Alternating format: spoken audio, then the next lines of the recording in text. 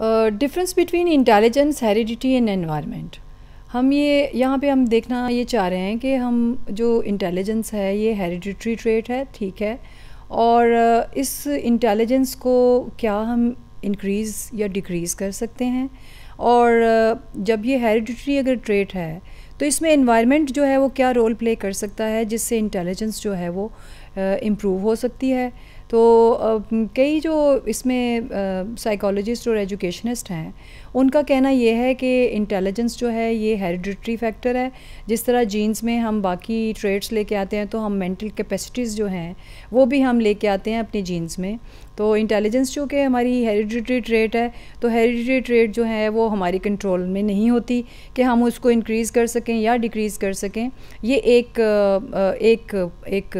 एक point of view है। जो दूसरा स्कूल ऑफ़ थॉट है, जो कहते हैं कि जी although the intelligence is a hereditary factor और a hereditary trait but if we provide the positive environment than we can improve और we can increase even even we can polish intelligence तो ये दो मुख्तलिफ़ स्कूल ऑफ़ थाट्स हैं, जो कि intelligence का जो है हेरिडिट्री का कित, क्या इफ़ेक्ट है इंटेलिजेंस के ऊपर? और इन्वायरमेंट जो है, वो इंटेलिजेंस को किस तरह से जो है, वो लेके चलता है, उसको इम्प्रूव कर सकता है? इसमें जो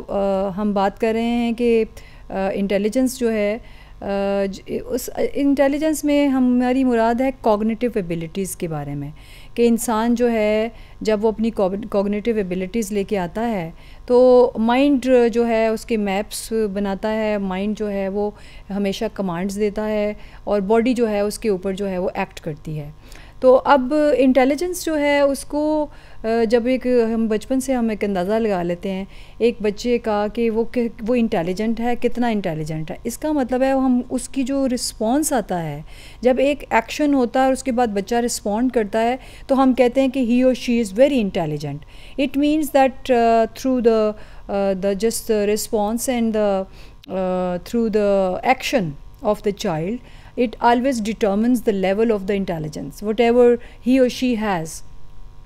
तो यहाँ पे इंटेलिजेंस uh, जो है कहा यह जाता है कि जी अगर पेरेंट्स बड़े इंटेलिजेंट हैं तो उसके बच्चे भी आगे से इंटेलिजेंट होंगे। यहाँ फिर मैं एक दोबारा जीन्स की और हेरिडिटरी फैक्टर की आपको बात बताऊँ कि इंटेलिजेंस जो है ये जिस तरह हम हेरिडिटरी ट्रेट मैंने अभी मैं बता रही हूँ कि जीन्स में जब हम लेते हैं तो जीन्स का तयन जो है हमारी सात जनरेशन जो पिछली हैं, वहाँ से होता है। तो हो सकता है कि पेरेंट्स जो हैं, वो इतने इंटेलिजेंट्स नहीं हैं, लेकिन बाज़ात आपने देखा है, बच्चे बड़े इंटेलिजेंट होते हैं। अच्छा अब इस फैक्टर का मतलब क्या मतलब है? इसका मतलब ये हुआ, फिर वही वाली चीज़ है कि जब हम सेवन जनरेशन से अपने जीन्स लेते हैं और जीन्स की ट्रेड्स लेते हैं तो इंटेलिजेंस भी जो है, वो मुख्तलिफ़ हो सकती है। बाज़ात हमने देखा पेरेंट्स जो हैं, वो बड़े खूबसूरत होते हैं और बड़े इंटेलिजेंट होते हैं, लेकिन बच्चे जो हैं, वो बिल्कुल उनके अपोज़िट होते हैं, या फिर एवरेज होते हैं। इसमें फिर एक रूल है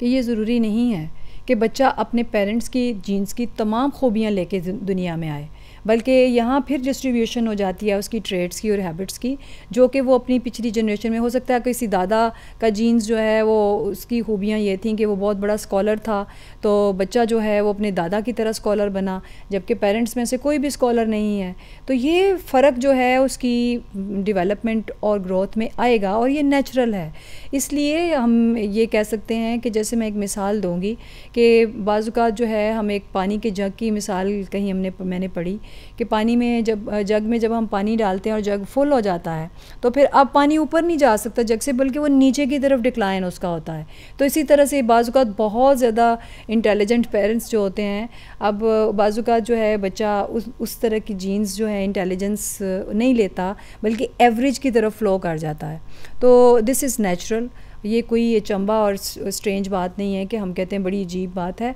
ऐसी बात नहीं है, ये तो एक हेल्दी जीन्स के ऊपर डिपेंड करता है हेरिडिटरी फैक्टर है कि वो इंटेलिजेंस जो है, वो अपने जो है वो पेरेंट्स की जो है एग्जैक्ट ले रहा है पार्शल ले रहा है या वेरिड अमाउंट में ले रहा है। और फिर मज़े की एक और बात यह है कि जब चार पाँच बहन भाई भी होते हैं तो चूँकि इंडिविजुअल डिफरेंसेस के साथ अल्लाह ने हर इंसान को पैदा किया है तो उनकी इंटेलिजेंस भी जो है वो कम और ज़्यादा होती है। हेरिडिटरी फैक्टर भी होता है, अब उसके साथ इन्वायरमेंट का फैक्टर भी है। इन्वायरमेंट का फैक्टर ये है कि जब आप बच्चे को अच्छा पॉजिटिव इन्वायरमेंट प्रोवाइड करते हैं, अच्छी लाइब्रेरीज़ में लेके जाते हैं, अच्छे स्कूल्स में उनको पढ़ाते हैं, घरों में भी हर वक्त जो है वो एजुकेशन के बारे में टॉक हो रही होती है पेरेंट्स एजुकेटेड हैं। तो देखिए, उसके बाद फिर बच्चे की ग्रोथ और डेवलपमेंट में कितना फ़र्क आता है। जब हमने बच्चे को वो एनवायरनमेंट भी प्रोवाइड नहीं किया, जिसमें उसकी जो इंटेलिजेंस है वो फ्लरिश करे या वो उसकी इंटेलिजेंस जो है वो पॉलिश हो तो फिर बच्चों की ग्रोथ में इंटेलिजेंस की ग्रोथ में भी फ़र्क आएगा। तो इसलिए ऐसा बच्चा बाज़ात जो कि एवरेज इंटेलिजेंस का होता है, लेकिन उसको बड़ा ही एक अच्छा माहौल एजुकेशन वाला मिलता है तो वो हार्ड वर्कर बाज़ात इंटेलिजेंस लोगों को बीट कर जाते हैं, क्योंकि वो अपनी हार्ड वर्किंग की वजह से जो है वो आगे निकल जाते हैं। तो अगर ऐसा माहौल प्रोवाइड कर दिया जाए तो हम हेरिडिटरी कमियों के ऊपर जो है हम काबू पा सकते हैं। अगर बेहतरीन इन्वायरमेंट जो है वो प्रोवाइड करें तो इंटेलिजेंस जो है वो उसको एक्सप्लोर करना और उसके बाद उसको इम्प्रूव करना और उसको जो है उस इंटेलिजेंस को यूटिलाइज़ करना ये सारा इन्वायरमेंट का काम है, जो कि पेरेंट्स अपने बच्चों की खूबियाँ और ख़ामियाँ और एप्टीट्यूड और एटीट्यूड जानने के बाद अपने बच्चे को प्रॉपर एक हेल्दी इन्वायरमेंट इस किस्म का कंड्यूसिव जो मैंने बात की कि एजुकेशन से रिलेटेड टास्क होने चाहिए, बच्चे को आप विज़िट करवाइए तमाम लाइब्रेरीज़ और एजुकेशन के इदारों में। आजकल टेक्नोलॉजी का दौर है तो वेबसाइट्स जो हैं बच्चे, हर वक्त मोबाइल और टैब्स जब यूज़ करते हैं तो आपने देखा है कि कितनी गेम्स आ गई हैं एजुकेशन से रिलेटेड तो बच्चों को जो है उन गेम्स के साथ पज़ल और उस तरह के जो जिग्सा वगैरह एक टेक्निक है तो उसके साथ बच्चे को आप जो है वो मैथमेटिक्स बड़ा अच्छा सिखा सकते हैं। और उसके साथ साथ बच्चे के अंदर क्यूरासिटी और उसके साथ जो क्रिएटिविटी वो इंक्रीज़ हो जाती है। जब वो पज़ल की सूरत में जब वो एक काम को कंप्लीट करते हैं, बजाय कि रोड मेमोराइजेशन के बच्चे को जब इस किस्म की एक्सरसाइजेस करवाई जाएँ तो उसके माइंड की और कॉग्निशन की बड़ी अच्छी एक्सरसाइज होती है और नए नए आइडियाज़ और क्रिएटिविटी जो है वो बच्चे के दिमाग में आती है। जब उसके पास इंफॉर्मेशन ज़्यादा होगी इमेजिनेशन होगी, उससे रिलेटेड स्टोरीज़ और लिटरेचर उसने पढ़ा होगा तो तब जाके इतनी ज़्यादा इन्फॉर्मेशन को वो अपनी इंटेलिजेंस की मदद से जो है वो यूटिलाइज़ करेगा। पहले उसको जो है वो ऑर्गेनाइज़ करेगा, उसके बाद जहाँ मौका उसको मैसर आएगा, जिस जगह पर उसने अपनी इंटेलिजेंस को यूज़ करके, उन उन इन्फॉर्मेशन को पुट करना है, वो वहाँ जाके उसको पुट करेगा। So we now we I am concluding that we accept both effects hereditary effects and environmental effects to improve और पॉलिश इंटेलिजेंस